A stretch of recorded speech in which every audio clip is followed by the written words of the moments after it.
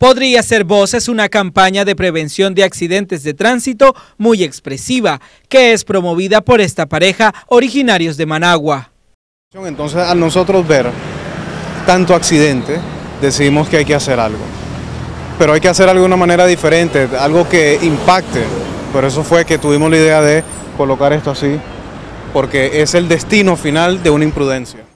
Porque si no gritamos, no, no, no, nadie nos va a oír. Y, con esto pretendemos que la gente se exprese, que la gente se exprese y dé consejos de cómo podemos aportar a una mejor cultura vial.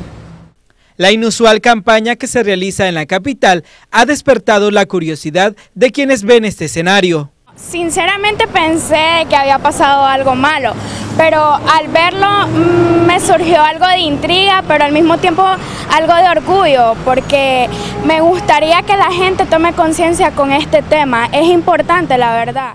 Cuando estamos manejando, si no estamos conscientes de lo que estamos haciendo, pues lo que vamos a ocasionar es un accidente donde puede, eh, um, desde poner en peligro la vida de uno, a poner tanto la vida de las de otras personas.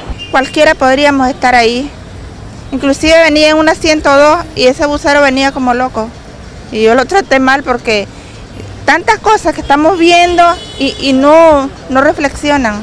¿Qué podemos controlar? Respetar lo alto, las señales y no manejar en exceso de velocidad ni bolo. De acuerdo al más reciente reporte de la Policía Nacional, hasta la fecha unas 180 personas han perecido a causa de accidentes. Sin embargo, cada día se registran nuevos accidentes en todo el país. Con imágenes de Salvador García, Gerald Chávez, Nicaragua, Notivoz.